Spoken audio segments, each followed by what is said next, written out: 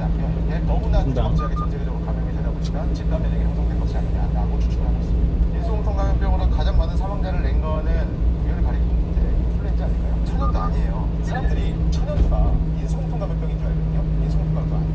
이게 사람만 걸려요. 천연두가 감염병 중에서 가장 사람을 많이 죽인 거예요.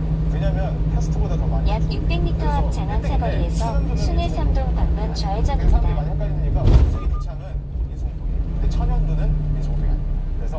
천연두 바이러스는 바이러스 중에서 가장 많이 사람을 죽인 바이러스다. 옛날에 비디오 볼 때 항상 뭐 호환 마마에서 나오듯이 마마, smallpox라고 하는 바이러스에 의해서 피부 병변을 아주 흉하게 유발했다는 그런 대표적인 바이러스인데 워낙에 어렸을 때 감염이 되면 사망률이 높고 그리고 바이러스에서 회복이 돼도 얼굴 표면에 흉터를 남기게 되는 그런 바이러스고 심지어 지금부터 3천년 이상 전인 이집트 람세스 5세에 죽어있는 그 미라에서도 흔적이 발견될 정도로 굉장히 역사가 오래된 바이러스입니다. 그래서 천연두 바이러스는 역사하고 굉장히 오랫동안 같이 해온 바이러스이기 때문에 굉장히 유명한 바이러스이고요. 우리나라뿐만 아니라 중국, 인도, 뭐 유럽 뭐 할 것 없이 굉장히 오랜 역사적인 기록에 곳곳마다 이 천연두의 기록들이 있을 정도로 역사와 함께 해온 바이러스라고 말씀드리고 싶습니다. 모열, 멸 반응부터 시작해서 몸살, 기본적인 염증 반응으로 유발되는 건 다 유발이 되고 바이러스 종류에 따라서 이 농포를 유발해요. 그래서 피부에 이 농포들이 터지고 나면 그것이 흉터가 돼서 남는 이런 병변을 나타냅니다. 치사율은 20%에서 30% 정도라고 알려져 있습니다. 이것도 전파력이 워낙에 세고요. 그런 어떤 농포에 의해서 바이러스가 퍼지게 되면 과활하다가 그냥 다 떼죽음 당하는 사례들이 굉장히 많았고요. 특히나 어린 아이들에게 감염됐을 경우에 그냥 다 사망하게 되는 그런 것들이었고 특히나 의학이 발달하지 않았을 시기에는 이게 거의 뭐 사람들에게는 가장 최고의 공포의 대상일 정도로 굉장히 두려움의 대상이 바이러스입니다.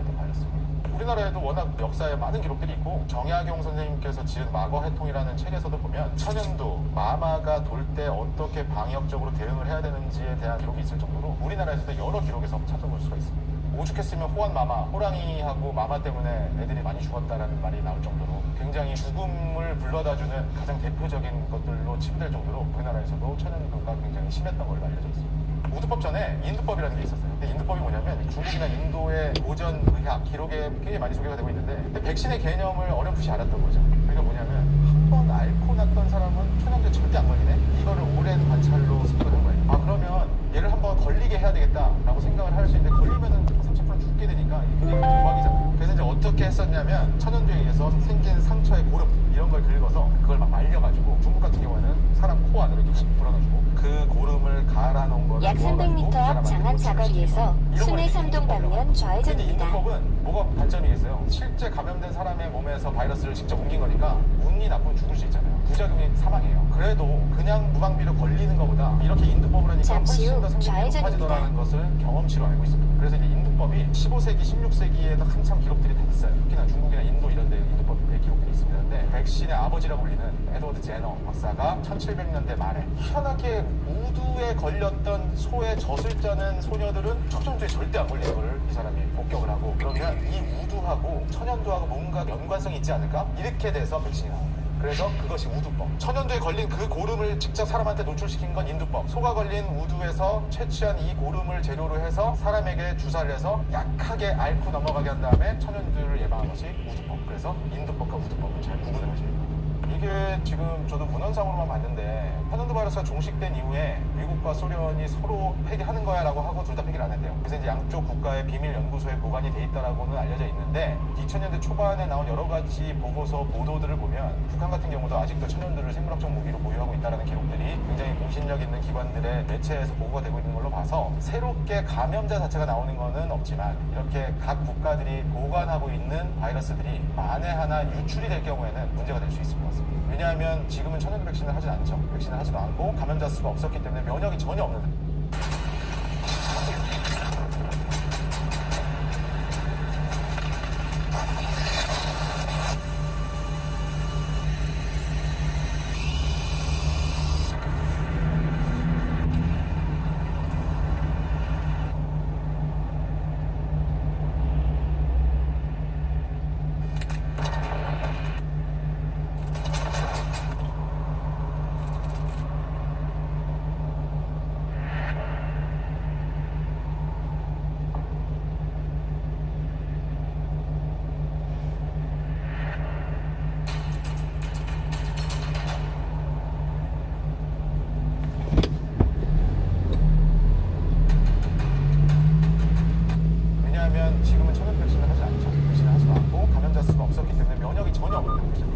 제너바 백신 만들기 이전에 면역력이 약 있기 때문에 600m 그걸 앞 샛별 삼거리에서 실수로 분당내 유출될 공로 경우에는 방면 우회전입니다. 지금 우리 뭐 인플루엔자 타미플루처럼 천연두의 특효한 치료제는 없고요. 다만 워낙 백신의 효과가 좋기 때문에 백신으로 약 600m 앞 신호 위반 및 시속 30km 단속 구간입니다. 세포에 배합된 생바이러스 자체를 백신으로 경우 생바이러스 자체가 병원 약 300m 앞 샛별 삼거리에서 분당내 공로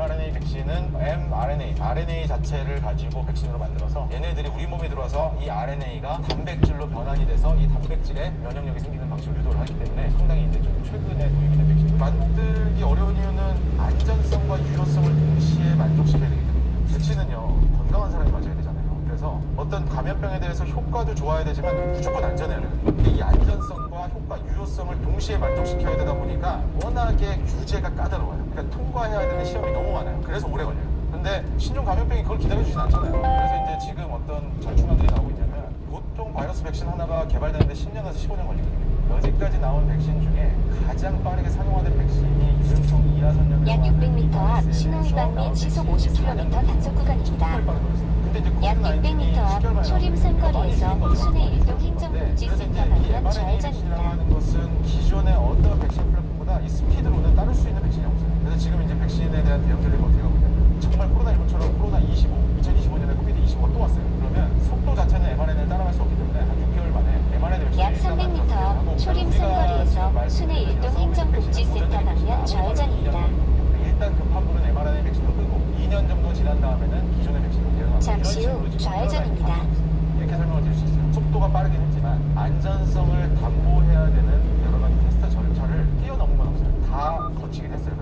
화이자 같은 경우는 바이러스가 나온 지 두 달 만에 인체 임상 들어갔거든요. 그러니까 워낙 개발 속도를 빠르게 하다 보니까 이렇게 아주 적은 빈도로 나타날 수 있는 부작용에 대해서 다 인지를 못한 건 사실이죠. 저는 확실히 말씀드릴 수 있는 건 그럼에도 불구하고 이런 부작용에 대해서는 계속해서 확인하고 대응을 하고 또는 그거에 대해서 보완 조치를 해야 되겠지만 이 백신이 도입돼서 사망률 자체를 획기적으로 낮춘 거는 폄훼할 수 없다고 생각합니다. 아, 치료제는 만들기가 어려운 이유가요. 첫 번째가 잠시 후 우회전입니다.